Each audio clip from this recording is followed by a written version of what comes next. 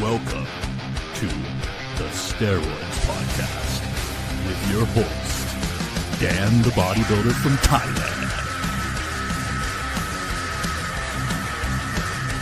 Boom! Boom! Let's get started here. The Steroids Podcast is brought to you by Ultimate Guide to Roids, 109 page ebook by Dan the Bodybuilder from Thailand.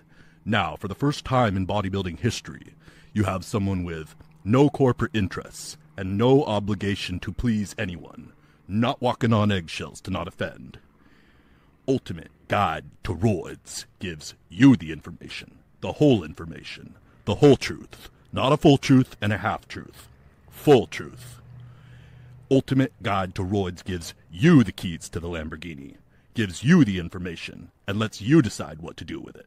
It's a crime this information has been suppressed this long. Now let's get on with the podcast. Okay, welcome to the next episode of the Steroids Podcast.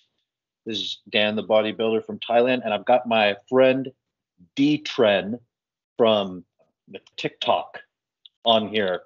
Uh, What's up, brother? You know the drill, baby.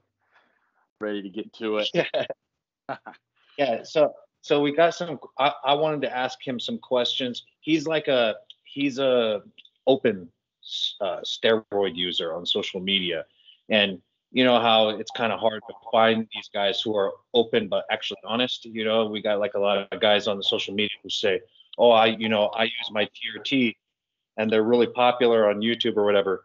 And you see these muscles that look like a bodybuilders, and they're talking about their their TRT or whatever.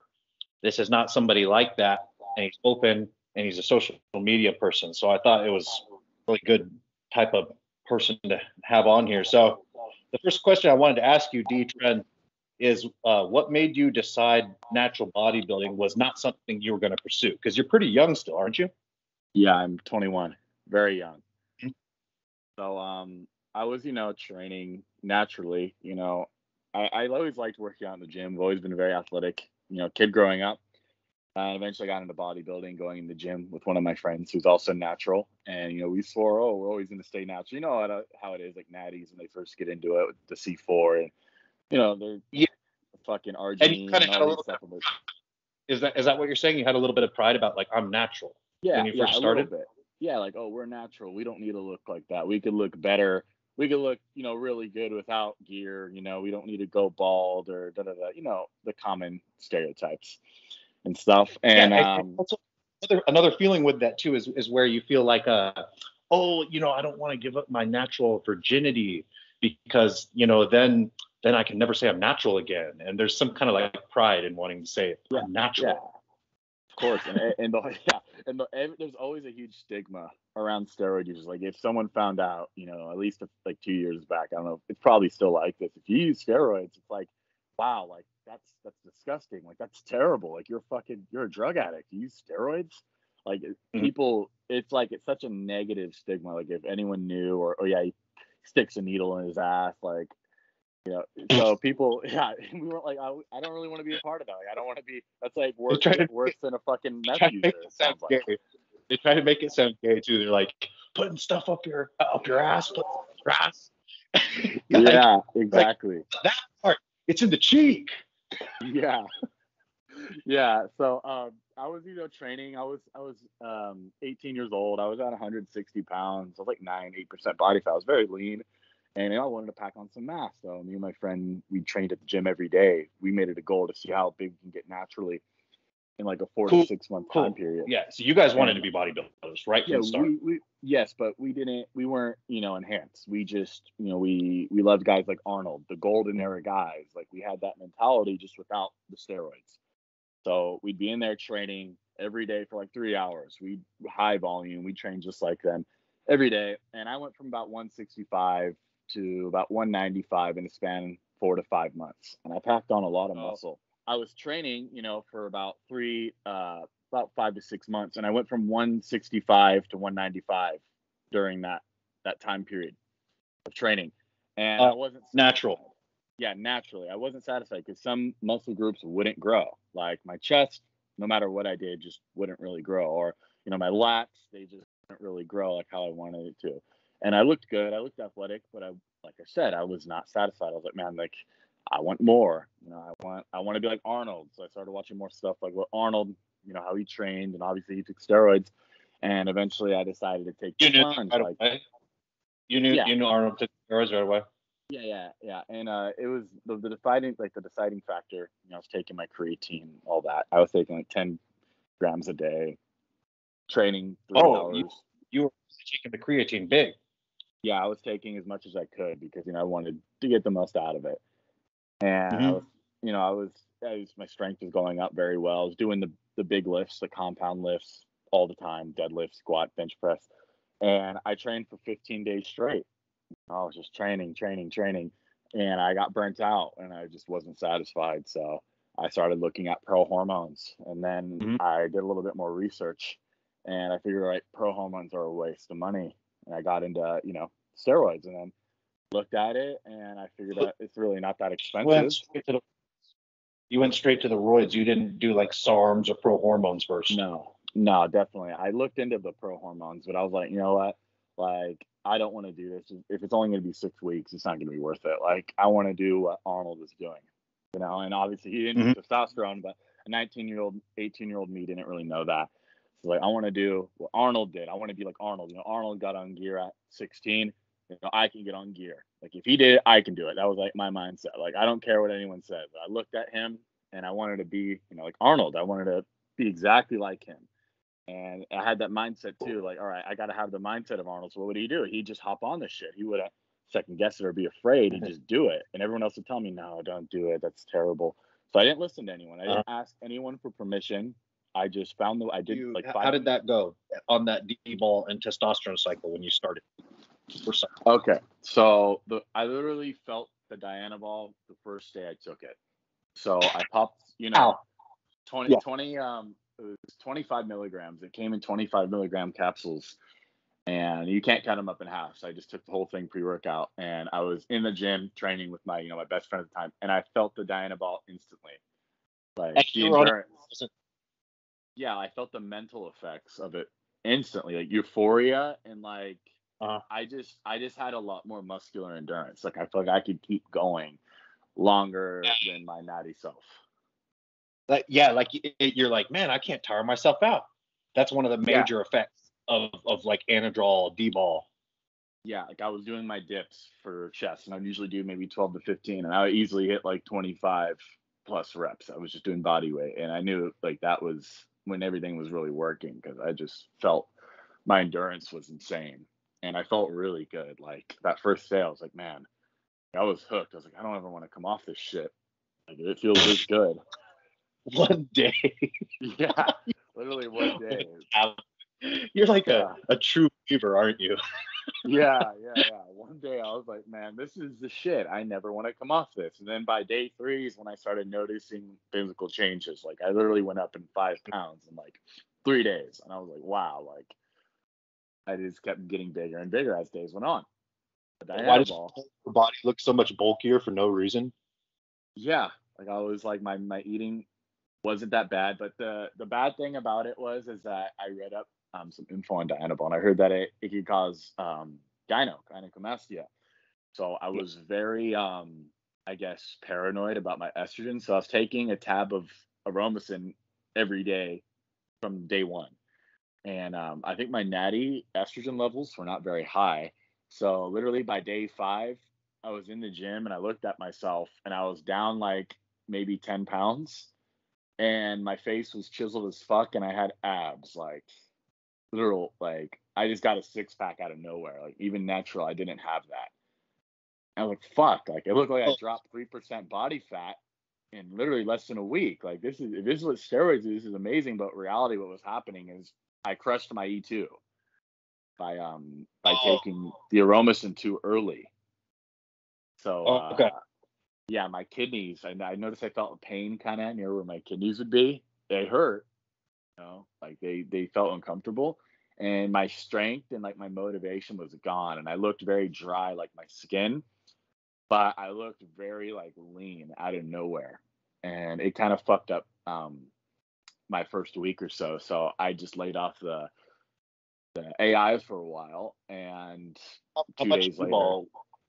I was taking 25 a day, but once I noticed my E2 was crashed, um, I took Mhm. 50 milligrams, like, in, like for two days. So, So it- you it knew recovered. right away. Yeah, that was pretty quick. You know, troubleshooting when you're on that first week or first month of uh, using steroids for the first time can actually be pretty uh, nerve wracking. It can cause quite a bit of anxiety because you you don't you have no idea what to expect. Yeah, and um, I kind of wish I didn't start with D-ball first. I mean, I do, I did love it. Like, I don't regret it. But if I would have started with just testosterone or maybe a Turinabol or Anadrol, I probably would have had a lot smoother first few weeks. Because dealing with that Mhm. estrogen when you're a beginner is kind of hard to do. You know, it's it's a bit of a challenge because you can't really tell, and you you're obviously going to be paranoid. Yeah, you don't know I don't what- want tits. High, what is low? Uh, yeah, and you know you don't want that, and so you're taking so you're taking a lot of stuff. Yeah, exactly. On my first cycle, man, I, I was like, I was like Nolvadex, Clomid, Arimidex, Exemestane. I was like, all of them.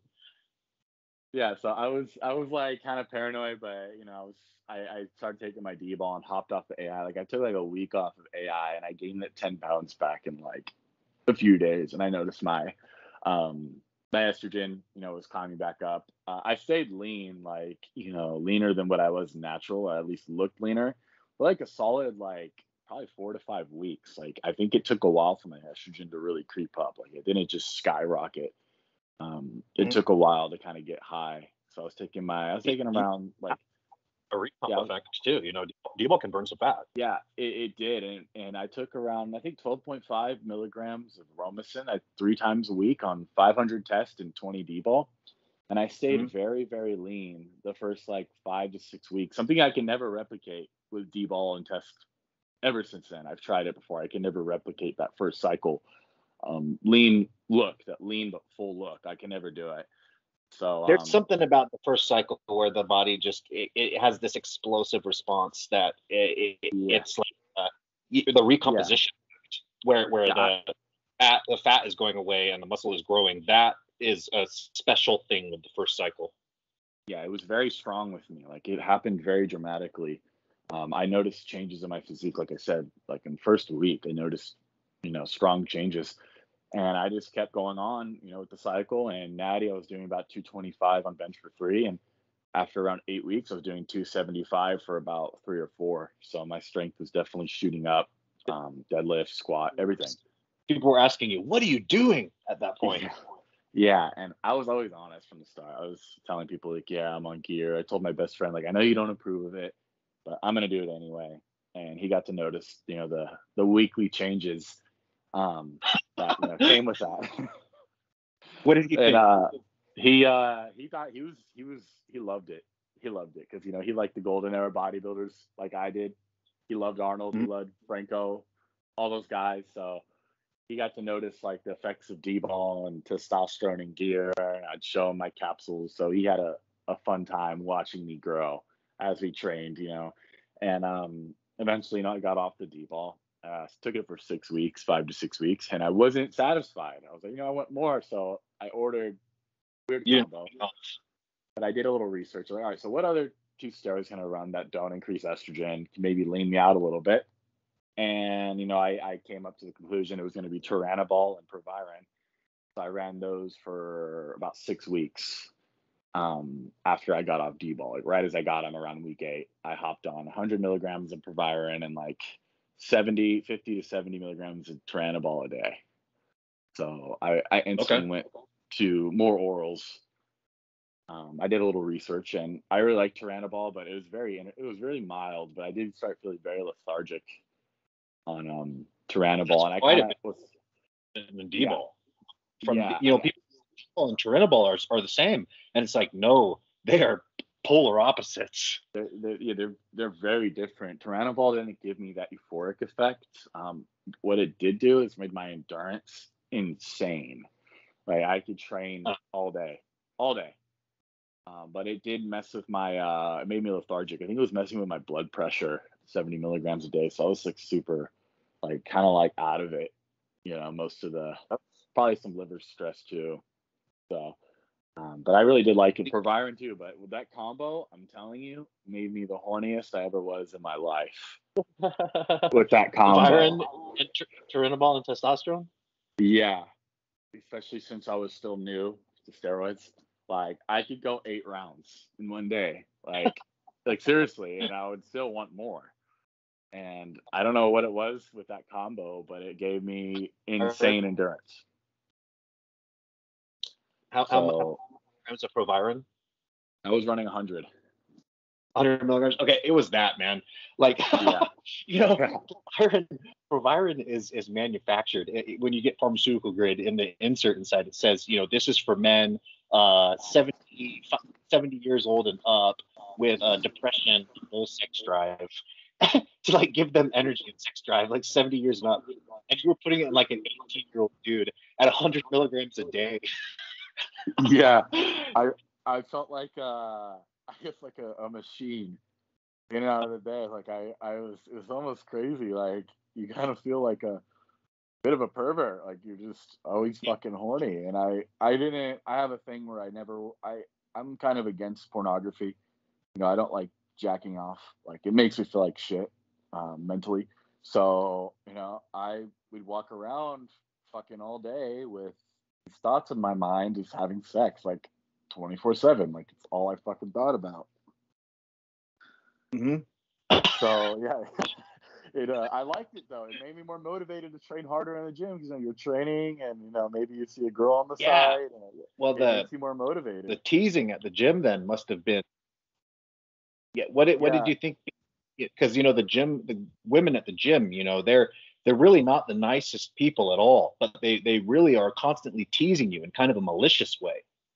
Yeah, they're um they're almost like uh, a little bit like psychopathic, man. Like they'll they'll come up to you and like mess with you and ask you these weird questions or ask are you using this? Just for like a little it's like they're getting a little ego boost out of it. And you're like really thinking like is this bitch like being serious? Like i'm obviously not using this machine. I didn't use it for 10 minutes. Why does she come up here and ask for my permission to use it. Like it's or how they act. Like you know what I'm talking about. Like girls, they they're really they stare a lot, and then it's just really weird. Like you, I can't explain it, but I try to avoid women now. Like I don't even try looking at them because it's just like it's very toxic. It's very like subtle though. Like you really have to like pay attention. And I think naturals don't really understand that. Like when you're on hand enhanced, I started noticing and being more um, aware of women, like uh-huh. body uh, language wise, a lot more. Okay. And um, girls, girls that go to the gym, man, they're they're really toxic. Like a lot of them, a lot more than like. Too. Yeah, they're not like the normal girl. There's something something not right. They're weird. I've made a video on this. Like girls that go to the gym every day are fucking weird. yeah, yeah, yeah. it's it's almost like they they get some kind of demonic uh, sense of pleasure out of um, you know teasing everyone in there who's working out or something, but then yeah. being, and you and you can't have it. yeah, exactly. Yeah, it's like oh, come come spot me, come spot me on the prone leg curl. Like oh yeah, you wish you had this, you piece of shit. Like that kind of thing. Like. Or yeah. how, my squat form look? Did my squat form look okay? Like I don't know. I wasn't looking. Did you want me to look at your squat form? Like, like they do these little mind games, and if you don't really understand it, you will miss it hormones. entirely. You're on, yeah. so they're picking on you. You know, they're making, you know, they're they're like, oh, okay, this is going to be the environment where I'm going to be able to pull this off most effectively than my devious. Yeah. Yeah, and obviously it's going to be um, more uh, accepted in the gym for girls to wear less clothing than usual or pose certain ways than usual. But do you think women can really know? Yeah, do you think you think women could really know if a man is on hormones? Like, could she sense that subconsciously? Like, do you really think that's that's a thing, or is it just uh, normal? Is it just is it just oh they're doing it to every man, no matter if he's on hormones, if he's young or old? You, you know, I, I think they it's an ego thing for them. They're doing it to everybody, but I think they probably get more uh more fun out of doing the hormone guys yeah, I notice um, whenever I get on tren, back on tren, I notice uh, I won't pay really much attention to girls, but some reason they will you know, put put themselves in my presence more Mhm. than usual. And it's typically only a tren thing I've noticed. Like they really act a little bit more suspect around me from what I've noticed. Mm, you, you know what that that seems to be a thing. Y- y- you know, there there's a debate. You know, is it the tren or is it the body language the tren is making you have, and uh, exactly. the way it's making you act? I, I remember um, I asked you a question uh, about that a long time ago on one of your um, older podcasts. Like, uh, do girls like dudes on tren? Like, are they attracted to guys on tren? You said something that tren makes you more standoffish. Tren makes you more seem more of like maybe an asshole or arrogant cocky, and that's kind of how I'm always portrayed by people I've talked to in the gym, like women in particular, not so much men. Uh huh. So I noticed that that actually played a part. I sometimes I'm always mad, almost mad like. Like I'm not mad, but when I'm on like Tren or you know Anadrol, it's like I just don't give a fuck. Like I'm just in there. I don't care if I pose or whatever. Like I'm just there for me, and I guess it could bring off kind of douchebag vibes. You know? Oh, like like you don't you don't even care to look at anyone or talk to anyone. It's almost like Yeah. they're just not there. Yeah, and I notice that it's particularly when I'm it's really funny. It's kind of fucked up, but I'll be training and I'll see someone coming up to me like 10, 15 feet away. Like they'll make eye contact with me. I'll think in my mind like, fuck, like I gotta talk to this fucking guy. And I'll look right back at him like, oh hey man, what's up? How's it going? Like I try to I try to brush people off more and it's not nice, but you know, I notice I do that more compared to when I'm cruising. I'm I'm like a happy camper when I'm cruising. I'm talking to everyone, but when I'm on Tren, I'm just like, fuck. This fucking guy's gonna try talking to me. Like, okay, okay, I gotta be nice. Let me talk to this guy. You know? Some of these some of these idiots, like you were you were mentioning, uh, somebody saying, you know, uh, are are you using this? So there's some of these idiots who they just love to come up to you when you're working out and say, how many more sets do you have on this? And it's like, uh, well, I have as many sets as until I'm done, you fool. And yeah. So, so these guys, it's almost like you want to be looking angry just so that these morons will be not coming up to you. Yeah, and I'd say since I've got bigger, I'm definitely a lot less approachable than when I was smaller. You know, being 250, 245 pounds, people, you know, are going to be a little bit hesitant around you. So I usually don't ever have to deal with people asking if I'm using something. And if I do, let's say if I do see someone, I'm, I'm right away like, yeah, I'm still using it. Like right away. Like I'm not the nice guy. Uh-huh. Oh, oh, you can join in or let me, uh, you can take it. It's fine. I'm like, yeah, I'm still using it. And typically it, it ends right there. Have you ever had any roid rage moments with that kind of stuff? Like where you've kind of like lost your cool for a moment? Yeah, yeah, definitely, definitely. Um, when I was on Anadrol, uh, I would take 100, 150 milligrams a day of Anadrol, and I was on Tren enanthate, testosterone. I was probably damn near on a gram of Tren enanthate, a gram of testosterone, 150 Anadrol. So I was, I was using the most the, the most androgenic compounds. Gram you know, of, and- a gram of each. Yeah. yeah, just a gram of everything. And I remember I get nosebleeds all the fucking time, but I'd go to the gym on Anadrol and I felt like a Terminator. Like people would be like, bro, like, what's your issue? Like, what's wrong with you? And I'm like, oh, I have no issue. What are you talking about? Like, I'm just not a happy camper. Like, I'm not necessarily roid raging, but I'm just like flat. Like, I'm just not in the mood to talk. And there's been a few times where I've been to the gym with my buddies, my good friends, and they've messed with me. Now, some of your gym buddies might mess with you to piss you off. And I'd go very personal. Like, I would, I would attack like they're a girl. Like, I, I know something about them that maybe they felt insecure about, and I'd bring it up. Like, oh, uh, hi, how's it going? They talk to you like, oh, so um, how's uh, how's what's a random name? I'm like, yeah, uh, how's Cynthia going for you? He'd be like, what, Cynthia, we're not dating. Oh yeah, I just got done with her last night, and I uh, tossed her out on the curb, and it just crushed these guys. Like these guys would get, like they look at me like, what the fuck? Like I was, I was an asshole sometimes, and this was when my estrogen was very high. Like the D ball, the test, I was. I, there's a time I stopped taking AI just to experiment for like a week or two, you know, and I felt like a fucking woman, or period, but with very high testosterone. And it's like I enjoyed fucking with people. Like I was, it's almost like sadistic. I don't know what was going on with me, but I almost got like a rise out of busting people's balls. What you're And, saying, um, the, the female hormones uh, being the ones that give you the mental side effects, I, I agree with that in my experience too. It's like even with trenbolone, you know, trenbolone doesn't affect me mentally too much if I'm taking cabergoline, but if I'm not Yeah. taking cabergoline and my prolactin gets high or my progesterone, whatever, then it affects me mentally big time. Uh, same thing with testosterone. You know, it doesn't affect me, you know, in a bad side effect way in my mind unless the estrogen gets high. So the, the female hormones in bodybuilding are enemies. Definitely. Like there was a time period um I was on a like some guy was on a leg press and uh, he had a 10 pound plate. He was using it, but you know, people are known to use 45s on leg press, right? But mm Mhm. 10 pound plate, I was bench pressing or whatever. I, I go up to and this guy's maybe 170 pounds. He's he's uh I see him a lot. He, you don't really talk, but he's never really progressed. He's kind of just one of those guys that you'll see who looks the same year round or as the months go on. And I took it. It's like, hey, I'm still using that. Like very like quick. Snarky. And I'm like, I was holding the 10 pound plate in my hand looking at him. Like, I look at the the leg press, he has a 35 on there. I'm like, what, what do you mean you need a 10 pound plate? Like stack a 45 on there. Like, you don't need this 10 pound plate. And he's like, he's like, like he's like, he's like, yes, I do. I'm not on steroids like you. oh, that was a good comeback. And I was like, I was like, you know I? I looked at him when he said that. Instantly, I wanted to bash him in the head with the fucking 10 pound plate. I was like, yeah, I can tell.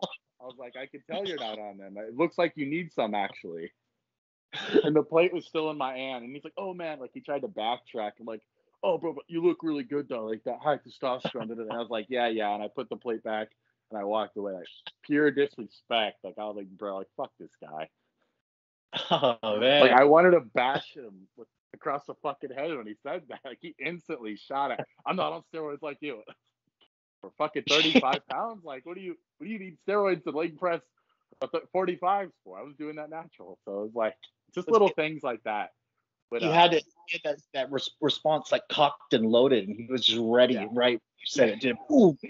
he was waiting. Like he he definitely had some. He's definitely seen me and thought some things out before, so he had that one ready. Like he didn't even have to think about it. It was like a natural fucking, like you said, cocked and loaded. It was in the chamber. and uh, another thing about um, roid rage. This was another time. One guy, uh, he worked at the gym, and he had a girlfriend, and she came up to me and like talked to me or whatever, and I complimented her hair. And I didn't know they were dating, right? This is just a normal girl i was interested, in her I just a little chit chat, and uh, she he calls her or whatever, and he comes up to me. He's this uh, Hispanic dude. He's looks like he's you know been to jail or whatever. He has tattoos on his face. He's like instantly, you know, going straight aggressive, like, bro, like, don't you fucking talk to my girl ever again. Like, I'm gonna fucking, we'll, we'll fucking go out right now. I'll kick your ass right now. Like, don't you ever fucking talk to my girl. And I'm, I was actually very calm. I was on tren, like 700 milligrams of tren at this point, like 500 tests, and I was really calm. Like, hey, bro, it's fine. Like, don't worry about it. Like, I, I had no clue. Trying to be very respectful, like how because I listen to your podcast and you'd say, you know, don't try to be the guy fighting people. Like, don't ever fight. It's not cool. You have nothing to prove. So I was telling him like, hey, like I have nothing to prove. I'm not gonna fight you. Like, like you have you shouldn't you, you shouldn't worry at all. Like I'm not gonna talk to your girlfriend. Like I had no clue she, you guys were even dating. And he walks out and leaves, whatever. And I was like, wow, like this guy came at me really aggressively, and my adrenaline was very high. But I stayed cool, calm and collected, and Oh, I wasn't. Feel your, you could kind of feel yourself shaking afterwards. Yeah, yeah, yeah. Like my adrenaline was super high, but my um how I presented myself was like, you know, I was trying to de-escalate the situation as much as possible. Was like, man, get your fucking hands out of my face. Da da da. Walks out, and uh, I go back out. I'm leaving. I'm the gym's about to close, and I walk out, and he spots me, and he comes up to me again, and he's like, bro, don't you fucking talk to my girl. That's straight disrespect. I'm like, I'm like, man, like, what are you talking about? Like, like the way you're coming at me is disrespectful. And I started getting pissed off here. Second time, he came up to me, and then he's still going, whatever. And uh, his coworkers start coming in because they see it. It's right in front of the gym. And I'm not trying to lose my membership. You know, I love going to this gym. And um, he instantly started switching up. Like he tried to make me seem like the aggressor. Like, oh, bro, it's not whatever. Was on you. The way the Yeah. way he's speaking, it sounds like he was juicing. Yeah, it looked like yeah, it didn't look like he was, but it sounded like it. But this guy was telling me, man, I've been in the pen for 15 years. I just got out. Like he was telling me he was out of the pen for like me like five different times. Like he kept repeating it, like he's in, he just got out of jail. He doesn't give a fuck. Uh-huh. And um, and uh, I, I right when he switched up, I was like, you know, fuck you, like you piece of shit. Like, don't you try to switch up. Like you're trying to you're trying to be a good person in front of your fucking coworkers when you started this bullshit threatening me in the fucking gym, and then he instantly lost it. Like, you know, fuck this. I, like, tell uh whatever, I'm gonna quit. And he came back at me, and he got in my face. I'm like, listen, motherfucker, I'm like, if you put one hand on me, I'm gonna I'm gonna send you back where you belong. Like, I, like you know, telling him I'm gonna send his ass back to jail if he hits me mm-hmm. because I wasn't gonna fight this guy. Guy, I gave him a chance too. Like this is how fearless I felt in that moment. Like I just didn't give a fuck. I I got in his face, like he got in mine, and I was like, you know what? Go ahead, fucking punch me. Like I'm not gonna punch you back. Go ahead, punch me. And I turned my cheek to this guy, a free hit. He didn't hit me. Not hit me. He ended up backing out, going back inside, and like the dude just he didn't want to do it. And like at that moment, I did not give a fuck. Like I felt no fear, no nothing. So I definitely attribute that to the tren, like the fight or flight response. At that moment, like I wasn't planning on fighting this guy, but like I had no fear. Like it was the opposite of roid rage. It was like I was ready to like kill or something, you know. Like I had no Kinda- no fear no of nothing. waiting for him to hit you because Yeah, you you I- think you're going to be numb. Yeah, yeah. And I, I, my goal was to send this guy to fucking jail. Like I was gonna ruin this dude's life if he put his hand on me. Like that was my mindset in that moment because he just kept fucking with me. And then I went back to my car and he came out again and was talking more shit. Like, hey, bro. He tried to like, you know, like, hey, man, like, listen, it's just about respect. Like he tried backtracking again, and I was like, no, it's not about respect. Look how you came at me. And then he got mad again and they would hold him back and he'd come back. I'm like, you know what? Fuck you, you fucking faggot. I drove off and he started walking near my car again. And so it was just a And bunch of shit. weird.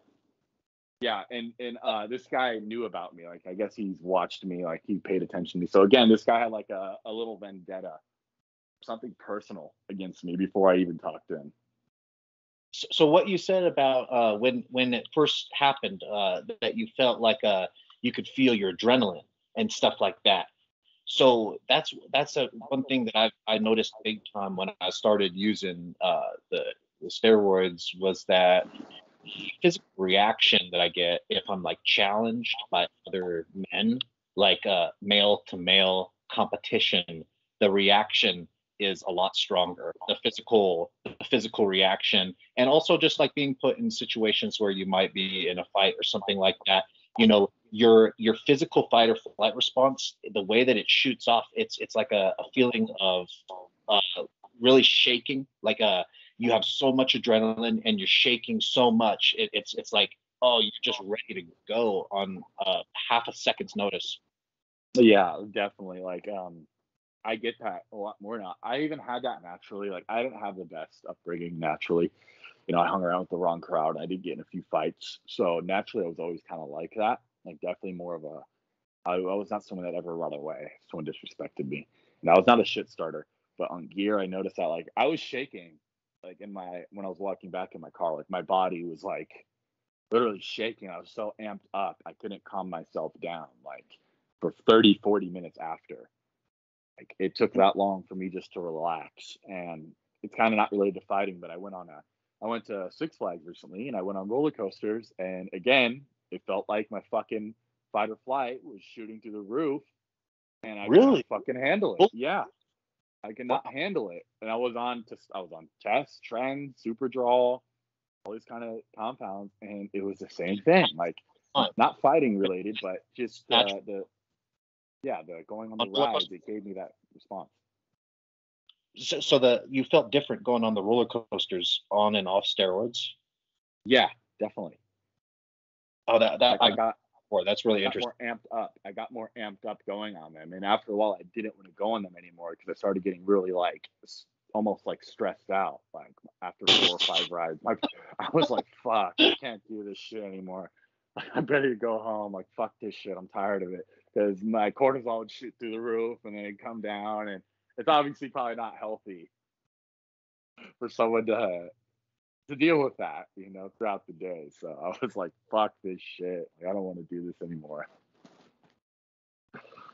Uh, yeah. yeah, yeah. So uh, these days, uh, what kind of uh, uh, needles and syringes do you do to do your shots? Like, what are what is what is your the hormones that are the base for bodybuilding for you today? The ones you need. All right. So the ones I'm using at this very moment is just testosterone. Um, I'm cruising right now, so three. I'm about 300 milligrams a week. Here's dose. Yeah, and um, I'm on uh, six IU's of growth hormone uh, per day. And you know, I'm still I still have the metformin in there, and I still have the T4. So metformin, 2,000 uh, milligrams. T4 about 150 to 200 micrograms every other day or so. And for the syringes, I use you know the normal bodybuilding 5 cc. What was that? When you're on growth hormone, can, do you do you feel that taking the T4? I, I think it really uh, makes the metabolism go quite a bit noticeably faster. Yeah, I noticed once I started taking the T4, um, I felt like I was leaning out a lot quicker. Like it's very subtle, but you'll look at yourself in the mirror and you're like, wow, like I look leaner. My midsection looks tighter. Look more veiny, more vascular. And like hunger after eating too. Like like oh I'm hungry again. Yeah, yeah, definitely. Um, especially, uh, I notice that when I eat clean food, I don't get that as much. Like if I eat enough of clean food, I don't get that hunger. But let's say I go out to like a Chick Fil A or um, pizza, I will get hungry in like a matter of like maybe an hour or two, starving I agree after eating a huge cheat meal. Yeah, it seems to be an insulin thing. Uh, if if the person uh, is is if you're just eating meat, you're not going to get hungry. But if you're eating uh, these fast uh, white processed carbohydrates like the buns on a Chick Fil A or something, you're going to be hungry again. Yeah, exactly. But I noticed uh, since you know I have issues with bloating and stuff, um, I would stop eating as much fast food and I'd replace my fast food meals with like a hundred gram protein shake, and I'd throw maybe some uh, egg, raw eggs in there and 100 grams of protein, and I'd just substitute that. So less calories, less carbs, and it would fill me up longer. Talk about giving talk about giving your steroids something to work with. 100 grams of protein. Yeah, uh, I don't have a huge appetite naturally, so I noticed when I eat fast food, I'd want to eat more of it. But naturally, my appetite isn't very high. Like I don't, I'm not a, a big eater, at least like I used to be. I think it's an estrogen thing too. I think when my estrogen's high, I want to eat a lot more. But when it's normal or low, I'm kind of like content. You know what I mean? Yeah, yeah. And, so um, nowadays, you you're saying you're using the five ml. yeah, the the yeah the five cc bodybuilding syringes with um. let's see what I have here. I think it's a 22. Uh, Uh-huh. 22 gauge for drawing and 25 for pinning. Okay. The it, the And- one inch. And how how much for a cycle? Like what what kind of what uh, few compounds are you using for sure? Oh, so like mine, like if I get on a blast, like what compounds am I gonna throw in there? When I go on a blast, the compounds I'm gonna be using for, let's say my next next blast, I plan on using, of course, testosterone, um, of course, Tren ace. Uh, I really like running Tren ace. I've ran Tren enanthate before, but for some reason I prefer Tren ace. I think it's because it's a bit stronger. It kicks in very fast, and uh, I really like Equi- Test prop, test prop, and test E. Is it you like feeling it that day? Yeah, yeah. Like I like the tren ace to kick in. Like I like the like the first like week you notice it. So I do go with the Uh-huh. the tren ace more than the tren enanthate. Um, testosterone, of course, is going to be an enanthate, and uh, I like to throw in equipoise. Now I really respond well to boldenone. Like I could run it very high, and I don't get that estrogen crushing response that most guys get when they run their boldenone higher than their testosterone. So I Mhm. really like boldenone. So those are What like is the main, main ones. uh, positively, the the boldenone. What was that? What does the boldenone do positively for you? Why why do you like it? Oh, It uh, makes me more stable on tren. Makes Ah. me like more mentally. It, it it gives me like a depressing effect. Um, when I blast. So when I take just chest and tren, I almost feel like manic, manicky, and that Mhm. manic like behavior can make me feel really aggressive sometimes. Like in normal situations, like at the gym, like I will just be like fucking someone up. Like I don't know what it is, but like I'll have this feeling if someone fucking were to touch me right now, like I would beat the shit out of them. Like it's not a normal rational response. Like I will bash them across the head with a fucking dumbbell if someone fucks with me. It's like it's not Uh-huh. a normal response. It's just like very aggressive and more like volatile. But um, when I'm just when I throw the EQ in there, it's like I'm not even running tren in terms of the mental sides, like the, the those more negative mental sides, and it makes me more like uh kind of depressed, like more relaxed, like calm, like almost like very like just relaxed, like if I was high most of the day. So that's what I noticed that EQ does to me mentally. So when you say depressed, you're kind of meaning like the stimulant effect. So you're meaning uh, it's it's being depressed, the stimulant effect of the yeah, tren. yeah. The stimulant effect and my libido, I noticed, goes down a little bit. Like I could still perform and I can still get turned on, but my libido goes down like quite a bit. So, um, and I don't have issues sleeping on it like at all. I could go to sleep whenever. In fact, I probably sleep more when I'm on tren versus when I'm off of it. What about uh, night sweats? Do you get much of that? Oh, so it's funny. Uh, I could take tren at any dosage. I've ran up to like 300 to 1200 milligrams of tren. So I've ran it. I've pushed Mhm. it very high. I do not get night sweats at all. I do not get trensomnia. I don't even really sweat on tren that much at all. Like I can take as much tren as I want. I do not profusely sweat, and I do not get night sweats. So I don't ever have to wake up in the middle of the night. You you probably don't get acne from it then either, do you? No, I get. I, in fact, my skin looks better on tren than when it does when I'm on testosterone. Like, uh, it almost gives my skin like a porcelain look.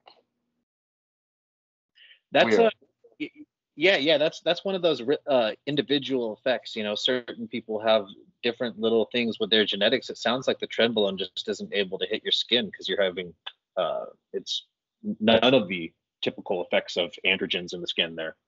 Yeah, and um, I noticed when I take tren, the first week my face starts to uh, bloat up a bit. Like I, I'll gain ten pounds like a week and a half Uh-huh. taking tren. My I- muscles will be loaded with glycogen. The the face thing, I will get that too if I don't take cabergoline. Do you use Yeah. cabergoline with your Yeah. I take uh one milligram a week, so 0.5 twice a week, and Mhm. it still happens. Like my face gets a little bit more like bloated, and I gain like even if my test is let's say at 500 and I'm 230, 235, instantly when I add Tren, a week later I'll be 242, 245, like instantly. and it's it's probably a very solid hard look too not not quite the same as the d-bol look which is a little bit No. more No, puffy it's it's it's like my midsection gets light like more aesthetic, like you know, uh tighter. But my Mhm. delts, my arms, my back, everything, my neck gets really thick. But not that bloated. It's like it is like a, a water look, but it's not a water in the skin look. It's like my muscles are uh, full and very like just massive. um, okay so D Tren is honest about uh his steroid use and his dosages you guys have heard during the uh, during the conversation so far he's been mentioning dosages like oh i use a thousand milligrams of tren a thousand milligrams of testosterone a thousand milligrams of anadrol and obviously he more than a thousand milligrams of equipoise. So why are you like this? Because that's the opposite of most guys. You know we know that uh, bodybuilding uh, size is dosage dependent on steroid use. That's a major factor in how big a bodybuilder is. But this uh, you're, you're kind of there's a few people who will talk like this and admit you know what it actually takes the dosages to be a bodybuilder. Uh, why why are you one of the people that are doing that So the reason why I'm like that is because you know I have that mentality that again goes back to the Arnold mentality: do whatever it takes. You know, you hear them say it. I will do whatever it takes, and that applies to my steroid dosages. And bodybuilders don't take low dosages. You know, this is the truth. People don't want to admit it, but you see results from higher dosages. And I remember the first time I even heard about this was, in fact, from you. Your podcast probably Oh. a year and a half ago or so. You were like, "Yeah, if you're not taking a thousand milligrams of testosterone, you're, you're, really not going to get that effect. Or you're not, you don't have a thousand to 1500 milligrams of steroids in your blood. You're not going to look like those bodybuilder guys. You're not going to look impressive. And I was like, that makes sense because I'm under that and I don't look as good as I thought I'd look. So once I started ramping it up, well, well, well, I started looking impressive. I started looking kind of similar to people I look up to. So I have like a really I don't give a fuck mentality. You know, I'm gonna do whatever it takes, regardless if people don't like it. So I've never been scared, put off by Your rejecting. Yeah. when you say that, uh, you do whatever it takes. I can hear it. Yeah, I'm not gonna be put off by sticking three mLs of uh, testosterone in my ass. Like it's like you said, it's just a syringe. You put the oil in there, you bam, you stick it in your ass, and you pull the plunger, and you're good to go. You're on with your day. So, uh, and I know it's going to give me the results. So why would I take anything less? I'm I'm a young guy. I'm 21. I could push I could push it to the limit. You know, and that's what I'm going to do. I'm not gonna I'm going to try to reach the ma- the maximum potential I could ever reach. So I'm going to keep going until you know, obviously I can't. That's my mentality on that and why I do the things I do that people think is crazy. Like, wow, thousand milligrams of testosterone, that's unheard of, or a thousand milligrams of tren. No one does that. No one, no bodybuilder does that. I'm like, you guys don't know the fucking half of it. Yeah. and uh, I was even big on the forums. I was big on the, the Reddit steroids forum. And I tell people my dosage, and they're like, oh yeah, he's gonna die in five years. He's he's a dumb fuck. He looks good, he's funny, but he's a dumb fuck. He's gonna die in five years. No bodybuilder. Chris Bumstead takes 500 milligrams of test on his Yeah, uh, his off period. Yeah, he takes 500. He's never used insulin. He's never used growth. Uh, he- 500 milligrams. The genetics are just so much better, so much more supreme. He's only taking that much, and people thought, "Oh, you're taking more gear than most IFBB pros." Like, you guys, no, I'm not. And these motherfuckers, they would not want to believe it. They would always have something else to say, like, "Oh, that's not the case." What about Chris Bumstead? His coach said he doesn't take that much. I'm like, yo, bodybuilders can lie too, right? Like that's Yeah. possible. so uh yeah, so it was just people really get baffled. Like they're so like surprised when I tell them what I run. Like they're they're like, bro, like you're gonna die in five years. That's what they say, like you're gonna die. And I'm like, okay, yeah, you can say whatever you want. I'm still gonna do it, you know. Continue being stupid. yeah, there's only a couple things that can really kill you really quickly like that. The other stuff is usually going to be more long term. I use in the podcast, I a lot of times uh, compare PEDs to smoking, uh, in in that it's it's something that's down the road. you pay for. Yeah, definitely. Like I tell people all the time, like I could take three thousand milligrams of tren right now, I would not die. I'd feel like shit, but I would not overdose or die. Mm-hmm. Because people think, you know, 500 milligrams of test is a lot. Like I'll tell people, what's a beginner cycle? Someone asks me, oh, 500 mil. I'll make a video about it. TikTok, 500 milligrams of test. That's great first cycle. They're like, bro, well, that's no, that's way too much. 250 is where you want to start out at. And I'm like, that makes no fucking sense. Yeah, if you It's want no results, your your first after a month, you'll be like, "What the heck? This was not what I was expecting." Exactly. And then you'll have some bodybuilder guy, or I'll have a bodybuilder guy, IFBB pro, make a video, say, oh, I only take 250 at the moment. I'm 260 pounds at 5'9, 9% body fat, and I'm only, I'm under a gram of gear. Like, bro, what the fuck? Like, that's like, look at, I'll tell you, like, look at this fucking guy. Does he look I- like he's telling the truth? Yeah, they're lying. They're lying out their ass. Why, why do you why do you think they do that though? I think because they don't want to be labeled as drug addicts. That's That's why they don't they don't want to be labeled as drug addicts. Okay. And I feel like when you get into that range where you're just constantly putting more milligrams of steroids and oil in your body, you probably don't feel too good about it. Some of these guys. So I think it's them kind of projecting a little bit. You know? You know what? That's very insightful actually, because you know, uh, you know, we were just chatting the other day, and and you were saying something about like, oh, you know, sometimes I feel like, uh, uh, putting all this oil in myself because you know, on cycle when, you know, it's typical for bodybuilders, and I've done this too. You taking a five milliliter syringe like five days a week. you know, Yeah, you might fucking, 30 milliliters in a week. yeah. And- you're, you're you're looking at that syringe and you're like, fuck, another one. Like I'm really gonna do this again.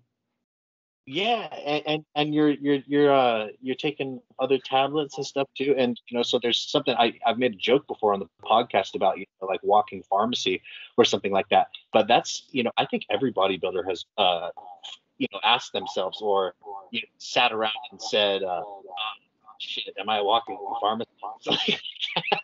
Yeah, I think I think we, me, and you both, and every other bodybuilder's done it. Eventually, you do feel like that. You're just you just feel toxic. Like you feel good, you look good, and you're kind of like thinking after a long cycle of doing it, like man, like I kind of I kind of feel like shit. Like this isn't good. Like from like I'm getting to the point where it's just not healthy at all.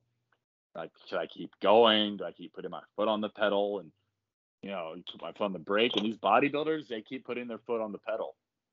I think it's just they're in denial. Is that why you're taking a cruise right now? Is that related to Yeah. what we're talking about?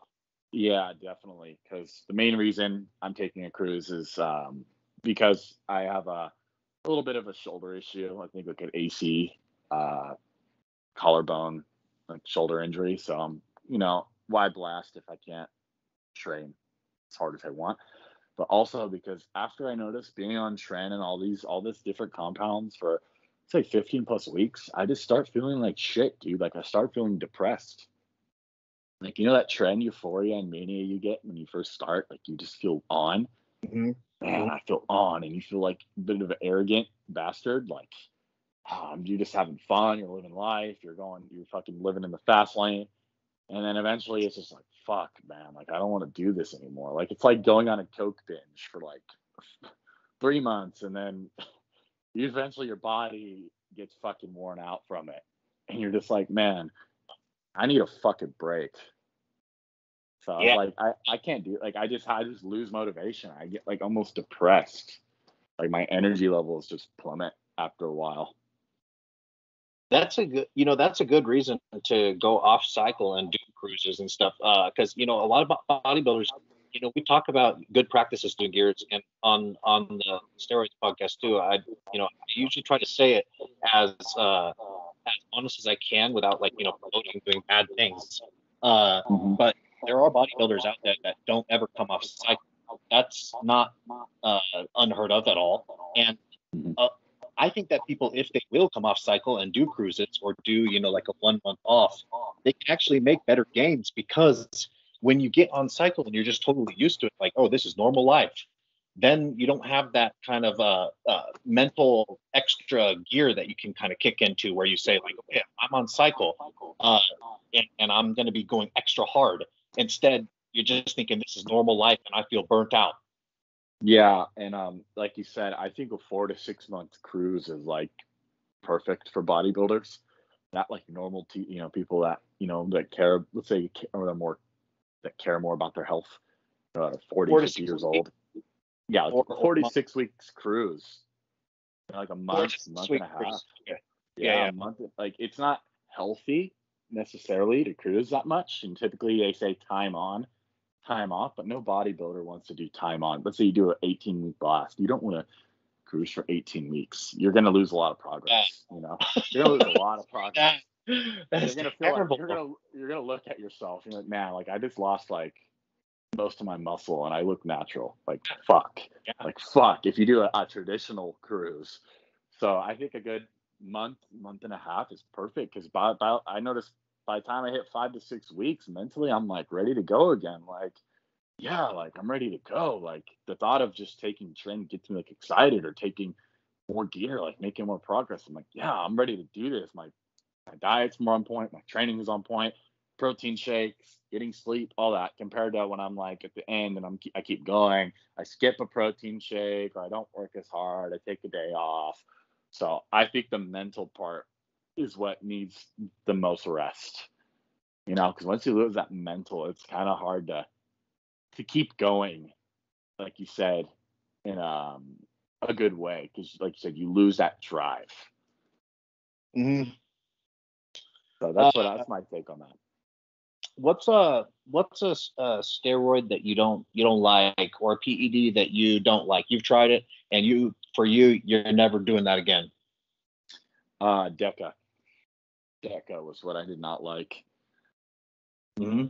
And the reason why I didn't like Deca is because I it's probably because what I was taking with I was taking I'd say about 300 milligrams Deca, so not a lot, but I was taking 600 tests and uh, 20 to 30 milligrams of D-bol. So my estrogen was probably fucking pretty high, and my prolactin probably got high. I did not have Caber at all. Mm. You know, I figured, oh, the old school guys did the test Deca D-bol, which they did do test, but I didn't know at the moment. And they probably let their estrogen run high. They didn't get gyno, so let me do that. I did that, and I turned into an acne, bloated, depressed, ridden mess. Like I had so much acne on my shoulders. I felt depressed. Like I felt sleepy all the time, and I just looked like shit. Like I did not Oh. look good. My skin was fucked up. Like my skin was. I was getting acne on my shoulders. Um, super bloated. My sex drive was a little bit down. My nipples got super sensitive. Um, Not good. I think I got a little bit of gyno formation on my left side, just a little bit, and that's what made me drop it. Like I was like, Was it the, the kind of gyno where it kind of stings and it's deep? uh, no, it didn't necessarily sting. It was more so just, um, I'd say yeah, it was it was a gyno that kind of like. Now that I think about it, it was like the kind that if you get on like a a preacher curl machine and you put your chest on there, it hurts.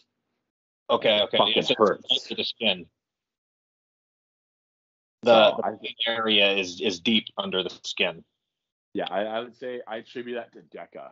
So Deca Yeah. was one I did not like, and as you know from what we talked about previously, like like weeks before, I'm someone that holds a lot of water and glycogen as it is. So Deca just wasn't with high test, higher test isn't something I could run. But I I would like to try Deca again one day with low test, like zero to like no test, to see if I would still get that same bloated look or if I get a more leaner, polished look.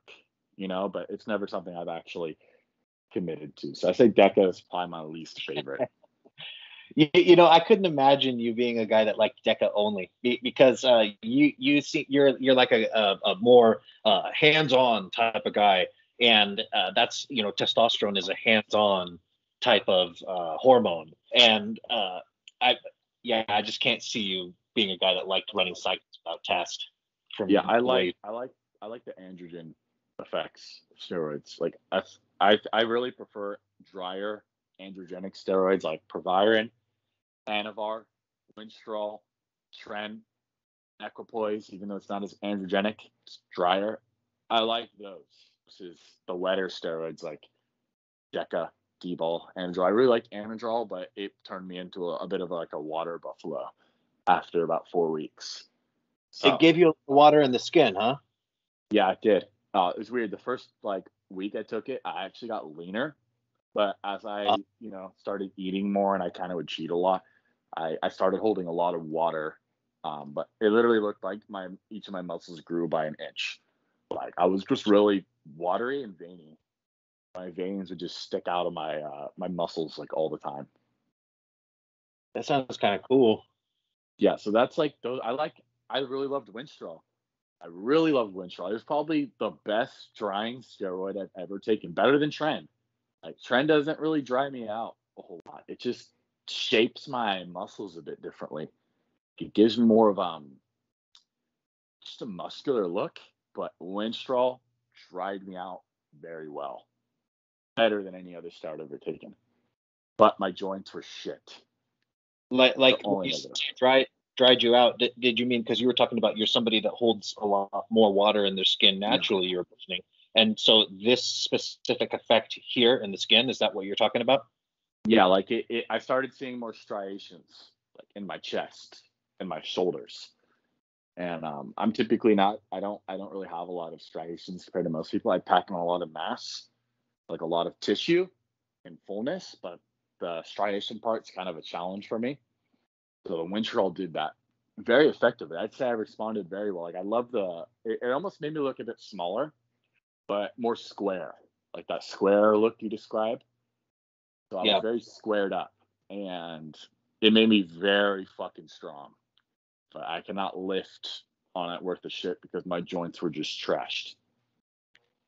Yeah, that you know that that's interesting hearing that it made you really strong too. It definitely has the strength increase effect in me too. And uh, I was doing a podcast episode with this with the this guy uh, powerlifter Russia about a couple months ago, and he was saying that he doesn't like Winstrol because what it does to his joints. But then he also said that the strongest person that he's ever met uses Trenbolone and Winstrol stacked together for his his peak for his competitions. Yeah, that's what I ran. My first tren cycle, I ran Winstrol um, the last six weeks or so. But I noticed once I dropped the Winstrol, I uh, gained like five pounds of glycogen or water, and I looked less small and squarey and more round and kind of just muscular. Still lean, but mm-hmm. more kind of like blown up um, with the muscle. So I just held a little bit more glycogen. I really liked it though. Winstrol, I would say, is probably besides Anadrol, made me the strongest. But Anadrol, the strength goes down after like three weeks. I noticed my strength kind of doesn't really get any more uh, better, even if I take more. So like I would probably too. Yeah, it goes away like after like two to three weeks, and you kind of just get the cosmetic effects and the blood pressure effects after after that. Yeah, blood pressure effects. Yeah, yeah. What's really irritating about the anadrol is that uh, you, you know you can take maybe 100 milligrams or 150 milligrams a day, and and you can have a certain strength level, and then you'll be like, okay, well, you know, if I push it up to 200 or 250 milligrams a day, it's going to give me more strength. And then, like you said, it has no effect uh, in the strength yeah. department, and you're like, what is going on here? Uh, but but but it may make you bigger. It probably will make you look bigger. Uh, but then it's not the same with D-bol though. So so D-bol, that's why I think I, I prefer Anadrol because D-bol, uh, I don't like that skin thickening effect uh, and the estrogen from it. Uh, so I prefer Anadrol, but D-bol is stronger, just undoubtedly, because you can take more and more milligrams of D-bol and it will keep making you stronger, unlike Anadrol. Yeah, that's one reason why I love D-bol because lifting on it was just really fun because the weights would just go up and the pumps, of course, were gnarly. And like you said, you could continue taking D-bol for six to eight weeks. Every week on D-bol, you'll get stronger. And if you, you know, plateau, take an extra 10, 20 milligrams or on a strength day, take fucking 50 milligrams pre-workout and you will be strong as fuck. So that's that like effect, that euphoric, strong, feel good effect of D-bol always is there. That's yeah, one thing exactly. I really loved it. So before we close this uh, podcast episode out here, uh, there was somebody from Instagram who sent us a question, and and I had to get this one in here. He says, "My favorite two guys to follow for gear joining forces for the podcast." Question for the podcast, please. Been pinning for two years now between Blast and Cruise. Also used to cycle on and off years ago. I rotate between my right glute, cannot reach my left glute due to injury and mobility problems. My delts and now recently my quads and chest. I really hate to pin my quads and chest, but just started because my glutes and shoulders have scar tissue. Not just a bit, but it sounds like crunching when I inject there. And when I push the plunger, it's actually hard to push the oil and it will bubble out of my skin like backwards if I do it. Uh, I know this is playing with fire and just asking for infection, which, yeah, I agree with that, but I'm running out of places to hit. Any suggestions how to get rid of permanent scar tissue? I've tried rolling with a lacrosse ball, a hard ball, and other things, but it seems that years of injections have left it pretty scarred. Thanks. What do you think, man?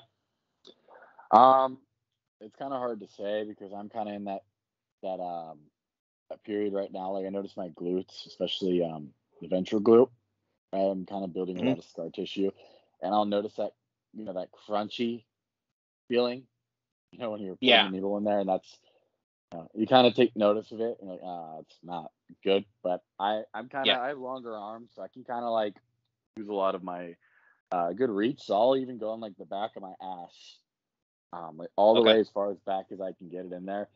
So like I don't have to deal with that that scar tissue. So I have really good mobility, and um, I don't like doing quads anymore because I would do them, and it's like I got shot in the leg sometimes, like randomly.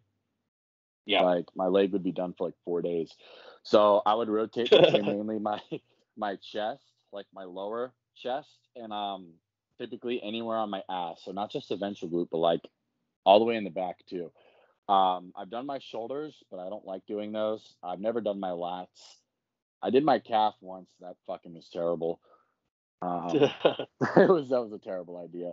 But it's kind of really hard to say, man. Like I would. You have you ever done your arms? I've have you ever like my, biceps? I have so much veins in my arms. Like I could probably do it, but I've never even thought about actually doing my bicep or my tricep. Like I've never thought about it, but you could do those.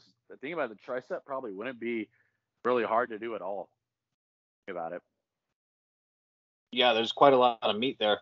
Uh, I know a lot of guys do the they they do uh, site injections in their arms to to have large arms. This is actually not uncommon with guys that have large large arms. So that's a choice for this guy, um, especially the bicep. That's that could be a. a and if he's doing the bicep, would he be doing on top of the bicep or more so like inside bicep?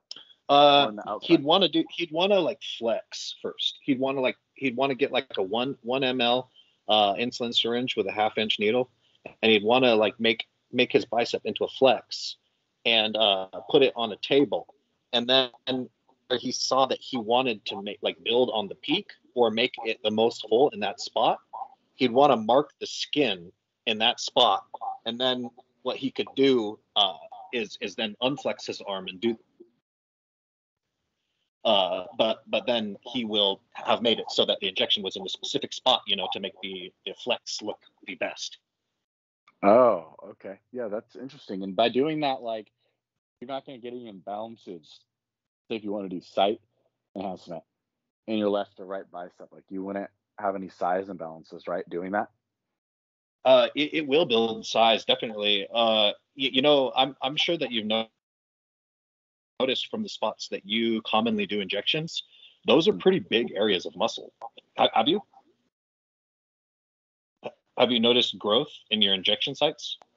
Definitely, especially in my ventral glutes. I notice like, especially when they're sore, but in general, like I'll flex, you know, like my um my glutes, and I notice the ventral glute side will stick out more, you know, mm-hmm. side. Yep, yep. It, so this isn't necessarily what I want, but it's just kind of a result of me using that spot for so long. Yeah, yeah. you, you know, people say, uh, you, you know, uh, site site enhancement uh, isn't real, but you know, the the uh, everyone knows that wherever they put their steroids, wherever they do the injection, grows really big.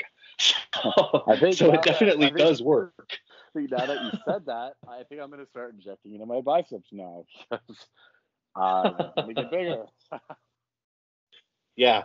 Uh, uh, the, the other the other advice I have this, for this guy is to use a longer needle when he's doing stuff like uh, he said he he's been doing uh, getting the scar tissue in his quads or in his uh, in his glutes.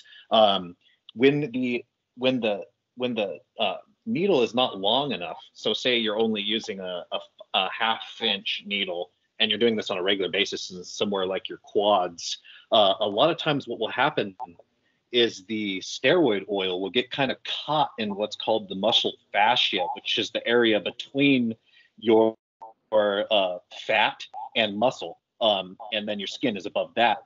And when it gets in this area, it causes a lot of irritation and it can create this kind of like hard armor uh, in response where you feel like almost like a lump that won't even go away for years after taking a shot. Do you have anything like that where you have like kind of like lumpy areas, D Tren? Um, I'm actually feeling right now. Um, yeah, a little bit. Like not not very hard, like as you described, but I notice that when I do it, I inject in my glutes, two days later it'll be a pretty big lump, or a day later it'll be a lump. But now that I'm thinking about it, feeling um, yeah, I kind of do a little bit, but it's not. Have some like permanent hardening, so, some permanent kind of lumpiness or hardening yeah. around some of the injection sites. Yeah, especially on that ventral glute. Yeah, a little bit. It's not like crazy though. It's but it's it's definitely there. Yeah, I got that in my my quads uh, pretty significantly. I mean, everybody knows that I don't do my quads anymore. Yeah. of course, because you know, how, how bad would that be if something happened there again? Uh, so so, but but I do from because I used to really like to do my quads because it's so convenient. It's just right there, and and you have total control over it, and it's a big muscle. You know, like on the outer part of your quad, the vastus lateralis, you could hit like four or five shots going up and down that. Uh, but I do, you know, I wanted to tell everybody that I do have some lumpiness or um, uh, like hardness on the surface of my quad muscles uh, from doing that. And the main reason why I have that is because I used a half inch insulin uh, syringe to do most of those shots. If I would have used a one inch uh, needle to go deeper, it wouldn't have uh, irritated the area between the, the skin and the muscle, the fascia like that. Uh, so for this guy that is having a lot of these, he says he's got this this uh, lumpiness, and it, he said it, it almost feels like it's crunching, and he's he's trying to inject and it's coming back out at him. That's insane. Uh, Yeah. I, I would say that he's he's probably using a short. You know, how else could he even come back if he isn't using a half inch needle or something? He's not using a long inch, a long enough needle. That's what he needs to do. You know, one, One inch I, or more. I've, I've injected in uh, my glute, and I, I think I hit like a very prominent scar tissue area, and I was putting the needle in my skin, and um, the needle just wasn't really like going in all the way. Like I didn't feel any pain, like the usual like you know little tick you get, a little pain pinch feeling when you stick a needle in you sometimes. It was like Yeah. I wasn't even going into my skin, but I was, and I could probably get. To, I I almost got the needle all the way in. Like it's probably sticking out just a little bit, but I had to really push that fucker down there. I was like, it's already in me. I'm not. I'm not taking this out. And uh, I injected, Uh-huh. and it, it, it was very hard to inject, and I did not feel anything, like no pain, no nothing. And I took it out, and I noticed it kind of started leaking a little bit. So that was like the only time period I've noticed anything like that. Didn't shoot out, but a little bit leaked, and I did use a one inch, but I didn't get it all the way in because it was like really hard, thick. Uh-huh. like dead, dead tissue I was injecting into. It felt like. Yeah. Avoid that area. Yeah, that's that's the only time I've ever I've ever had that happen. But everything's fine. I don't. I would say for him though, try your lats. Like really experiment different areas. If he doesn't like, I don't really like doing my chest either. It's just not really pleasant. It leaves a do. ball. It leaves like a hard ball. Yeah, I, it just feels like crap too when you're doing a back day or a chest day. It just hurts to even flex it. So I would say try Uh-huh. your lats. Try your lats or your triceps. That's what I would say. And use a one inch or, or when you're doing your lat, like your triceps, use uh you could use insulin. But you know, other than Yeah. that, you're using those big areas, use a one inch. But I'd say definitely I I want to try my triceps. Now if you think about it, it's a very easy spot to inject. You know? not it's really looking at it now like i'm like yeah that's actually very smart like i, I don't like doing my delts either and a lot of guys get that scar tissue in their uh their side delt and a lot of guys that's how they make their Yeah. delts bigger is by site enhancement and their their delts and you know of course they're going to get a bit bigger but it doesn't look natural what i've heard Yeah, yeah, you, you see lumpiness in the in the delts sometimes. That's not a good look. You know, uh, just on the on the subject too of of doing uh, injections for site enhancement. You know, it, it, it'll work with the with the normal shots that everyone does, but uh, if you know, going with a suspension even really amplifies the effect because oh yeah um, you load that you load that up pre-workout uh, with suspension, and everybody knows suspension gives a bunch of inflammation. Uh, Yeah. For one thing, and then you've got that uh, you know high concentration of active steroid sitting in the muscle. Uh, so you know because when you inject it, it's active with suspension. There's no ester. So so you're you're you're really uh, hyperdosing the specific muscle that you're training with steroids. yeah i used to use uh test no ester i don't think it's the same as suspension because suspension is water based right the water yeah, it's the same, just with an oil base. The test I- uh, ester. use Test no ester, and I don't think it's as strong as suspension. Because I was using it, I don't know if it's because I was on a lot of tren, but I felt it, but it wasn't like what people described on. Uh, Oh, it wasn't. It wasn't quite as. It didn't hit quite as hard. I would expect something in water to hit harder than something. Yeah, yeah, it was it was there, but it wasn't like that. That test suspension, um, I, I would read on people's uh, experiences, and they said test suspension was a lot stronger, and it hurt a lot more. And um, but the the test no ester smelled Like you test, you pin that shit, and you'd smell like the fucking was it what was it, what do they put it in? Glucarol or glycol? I don't know, some shit like that. And they put in it, put that in there, and you smell like it in the gym.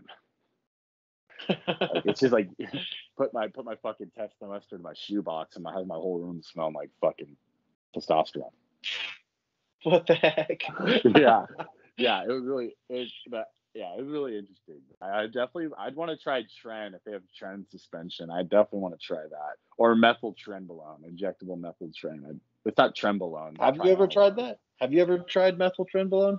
Because you've never, got the D Tren name. Yeah, I've maybe never, that's that's your my next. It's one. a match made in heaven. yeah, your next one. I want to try it. I really do. But I know if I take it, I'm gonna feel like shit like two weeks into it. I know it's gonna happen. Um, I want to get Uh-huh. the injectable. I don't want to get. I've only found the orals and I found the injectables, but I've never pulled the um the trigger on it because I know if I start taking this toxic fucking substance, I'm gonna feel like shit my daily life really fast. So it's gonna my cycle is gonna probably go downhill. But I watched your video on it and uh, the methyl tren video, how it makes you feel like you're on like meth. that really made me want to try it even more. I was like, I really want to try this shit. And uh, some people yeah, say it's it's a, the some people say it's it's has a stronger recomp effect than trenbolone, but other people say it doesn't even really change their physique. So I don't know Huh. if it would even be worth. Maybe they're not using it consistently enough. Because it's the strongest, uh, it's the strongest male hormone that's ever been discovered. They like scientists use it regularly to this day for comparisons in the laboratory of of how strong things can connect to the androgen receptor, and they use uh, methyltren as the control chemical. Yeah. So I think my response to Superdrol, oral Superdrol, I didn't really like how I felt in my daily life on it. I liked it in the gym, so I don't know how methyl methyltren. I would probably go injectable. Would make me feel. Yeah, it would probably be even worse than Superdrol for you. It because Yeah, I- I would- you a, a lot of people get sick on Superdrol. Not everybody, but a lot do. And and you said you got pretty sick. I didn't get sick on it. I just felt depressed. Like I Depressed, did not want okay. I didn't. I didn't want to lift anymore. I didn't want to go to the sucks. gym and. Like I just wanted to like. I wanted to hop off everything. Like I was like, all right. Like that was like the final like shot. Like I was in the gym and on it, I'd feel great. But when I wasn't, And you're strong on it, as a bull. Oh, definitely. And I looked amazing. Like my my arms, everything, chest, my whole physique looked felt great. But when I wouldn't take it, I would only take a pre workout. Like shit. I'd wake up and I got out of bed. I'm like, man, if I ever take something like a methyl tren or Superdrol again, I would probably be on Adderall. I'm on that shit because I need like a, a fucking amphetamine to keep going off something like that. Like it's just like it, it's like I need to use drugs to substitute the drugs I'm taking. So I need more drugs. so uh, and I'm actually gonna get on Adderall. Like that's actually um something I'm gonna do because my energy levels, dude, they're terrible. So I'm actually working towards a prescription uh, on Adderall. Are, do you take any any blood pressure meds currently? Yeah, I'm taking um uh was it Nuva Nebivolol, I think it's called, and uh the other blood pressure med that you uh, recommended me. Um Oh, okay. Okay. Kelsey So Kelsey has that- Martin or yeah, something like tell that. tell Yeah, me, Sarton, has did Yeah. did that uh being on blood pressure meds has that helped with your energy levels at all? Yeah. Yeah, definitely. And I notice I'm a, I'm a bit more vascular uh in general. Okay. So Yeah, it yeah. does. Uh, lower, lower lower blood pressure, more relaxed veins. Uh, I'm always um high blood pressure is like my main side effect I get from uh, gear, mainly orals, but um blood pressure uh, my blood pressure is always really high. Like before I got on the BP meds, I was like 160 over 78 uh, on my cruise. So it was Oh, that's fucking- that's high. Yeah, yeah. I have I that's really that's the point where you you need to do something. yeah. Uh, it was probably a bit skewed because I only did one test and was at a fucking um, Walgreens or whatever. But still, Your arm was too big for the machine. Yeah, my fucking I had a pump. I just got back from the gym, so it doesn't even count. but yeah, I was thinking like, yeah, I think it's time for me to get on these because um, I'm taking high dosage of steroids and I'd get a lot of migraines. Um, uh-huh. just from taking shit like equipoise, like my head would randomly just hurt for like an hour or two. I'm like, fuck, I think it's my blood pressure or my red blood cell count or something because my fucking head hurts. And I don't really get that as much now. I'm taking those.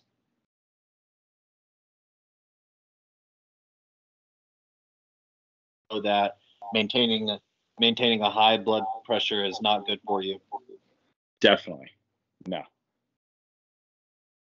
All right. Well, I wanted to tell D-Tren, thank you so much for coming on the podcast today, bro. And uh, I know everybody's going to enjoy hearing from you. Thank you for being honest. Thank you for being one of these guys out here who's, you know, doing bodybuilding and just saying it like it is because people don't know. And there's only a few in the world, in the whole world, there's only a few people who are willing to do that. And uh, so what you're doing helps people to know more about what is real and what is not, because it sucks living in a world where you where everything is fake. Indeed, yeah, I agree. Very, uh, very much so. Um, I appreciate you having me, man. Um, I've been watching your videos for past a year and a half, so I was a fan even before I got on the podcast, and I always recommend uh, you to people that ask, you know, for advice on gear. Typically, it's More Plates More Dates or whatever, and I say, you know, you should be listening to Dan, bodybuilder from Thailand.